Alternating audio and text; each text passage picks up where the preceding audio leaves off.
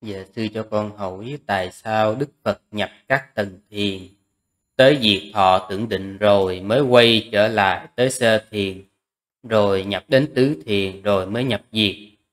Có phải đó cũng là một cách thuyết pháp của Phật không sư? Và diệt thọ tưởng định là hữu dư niết bàn phải không?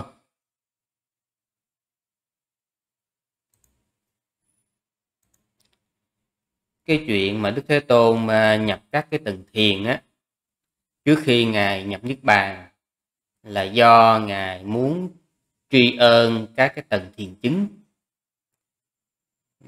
bởi vì à, trong suốt thời gian mà Đức Thế Tôn trụ thế các tầng thiền chứng đã hỗ trợ Đức Thế Tôn rất là nhiều. Từ cái chuyện nghỉ ngơi à, cho đến cái chuyện hoạt pháp. Đức Thế Tôn truy ơn phải nói là tất cả mọi chuyện như là khi ngài à, chứng đạo quả à, chứng đạo quả ở dưới cội bồ đề ngài đã truy ơn cội bồ đề suốt 7 ngày. Thành ra đó là đức thế tôn đó, là một cái biểu hiện rất là rõ rệt về tấm lòng tri ơn và báo ơn. Cho nên cái chuyện mà ngài nhập vào các tầng thiền trước khi viên tịch là một cách để ngài truy ơn các tầng thiền chứng.